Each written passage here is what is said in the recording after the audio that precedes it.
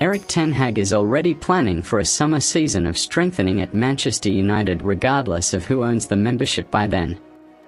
United's 2-2 draw with Leeds United at Old Trafford remaining week demonstrated Ten Hag's suspicion that his squad isn't robust sufficient to compete for the largest trophies. His ambition is to have two top-class players in every position and with Casemiro and Christian Eriksen once more lacking for Sunday's rematch at Elland Road, the Dutchman is intending with his method in spite of the Glazers placing the membership up for sale and five bidders in the walking for a £5 billion takeover. If we want to restoration Manchester United, we want top gamers but additionally double in each role because we choose to act in so many competitions, stated Ten Hag. You noticed it in the last game, how we have in certain positions a lack of quality.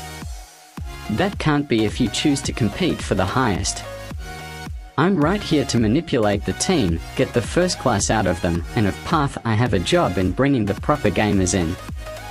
There is a lot of conversation about that with the board and management of the club however I am here to acquire the carrying objectives and goals, not the finance. I am calm about the state of affairs of potential takeover. I am planning. I always go for the highest, so we go for the best, the nice we can get, but also we have design B.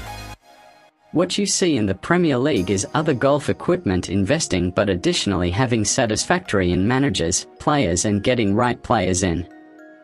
The opposition is simply tough, for a lengthy time it was a two-horse race but now I assume it is a six, seven, eight-horse race. I still can refer to my first press convention here, I said things can change.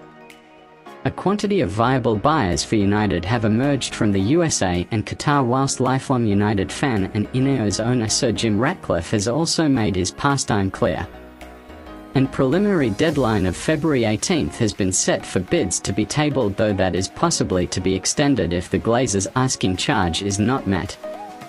At least any new owners are getting a club whose fortunes are improving on the pitch. Ten Hag has revitalised United who are nonetheless worried in four competitions and could cease their six-year wait for a trophy in the Carabao Cup final against Newcastle on February 26. The former Ajax boss seems to be becoming extra demanding as the season progresses as if challenging his players. I'm now not happy or cozy with much less than the best possible and I will every time, each day, demand the perfect standards from them, he admits.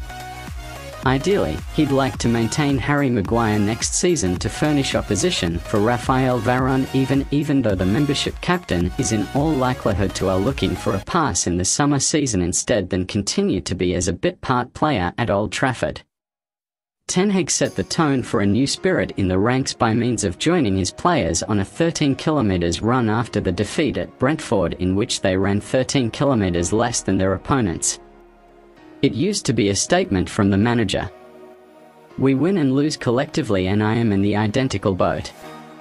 It doesn't remember the age, he defined earlier than adding self-deprecatingly, but I can't run like they done on the pitch. His therapy of Jadon Sancho has been praised, permitting the £73 million England winger time out of the highlight to get physically and mentally right. Sancho responded through scoring against Leeds in his first Premier League game since October, and Ten Hag says he'd do the same again if a participant wished support. I returned every player where I can, he said. I will push them but we will be there, my coaches as well, if they have problems. We will help them to type them out.